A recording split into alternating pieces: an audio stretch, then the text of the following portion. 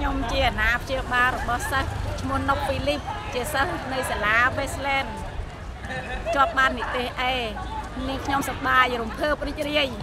ជាពុនពេកហើយក៏សូមអរគុណដល់សម្ដេចតេជោអរគុណដល់ថ្នាក់ដឹកនាំខេត្តទាំងអស់គ្នាអរគុណដល់សាលា Westland និងលោកគ្រូអ្នកគ្រូ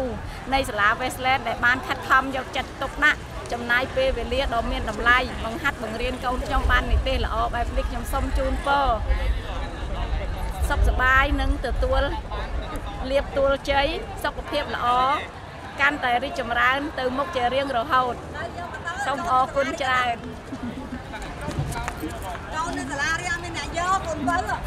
ទៅនៅធោទៅមួយម៉ូតូ